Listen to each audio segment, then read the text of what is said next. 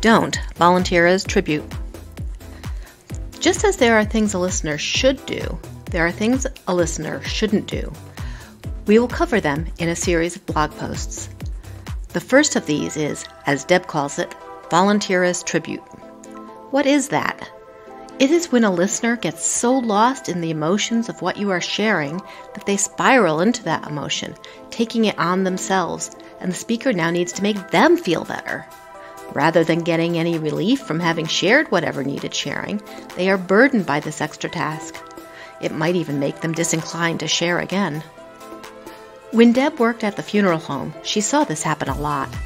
People meant to be caring, but instead of simply listening to and staying present with sad feelings, they would take them on and the roles would flip.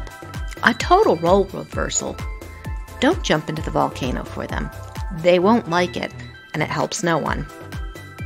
Remember our pay it forward option if you need a listener and funds are tight. Find us at www.hearingoutlifedrama.com.